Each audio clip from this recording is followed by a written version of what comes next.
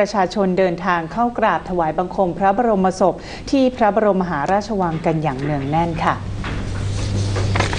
บรรยากาศที่พระบรมมหาราชวังและท้องสนามหลวงตลอดทั้งวันที่ผ่านมา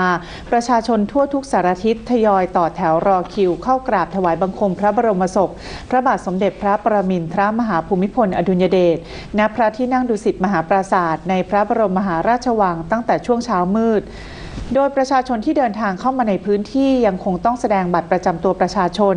และผ่านการตรวจค้นร่างกายสัมภาระจากเจ้าหน้าที่ เพื่อป้องกันการนำอาวุธร้ายแรงและของมีคมเข้ามาในพื้นที่ ก่อนจะเดินไปยังบริเวณเต็นท์พักคอยฝั่งทิศเหนือ โดยในวันนี้สำนักพระราชวังได้เปิดให้ประชาชนชุดแรก เริ่มเข้ากราบถวายบังคมพระบรมศพผ่านทางประตูวิเศษชัยศรีตั้งแต่เวลาประมาณ 5 นาฬิกา ขณะที่บรรยากาศโดยรอบยังคงมีเจ้าหน้าที่กรุงเทพมหานคร ที่คอยดูแลความเรียบร้อยในพื้นที่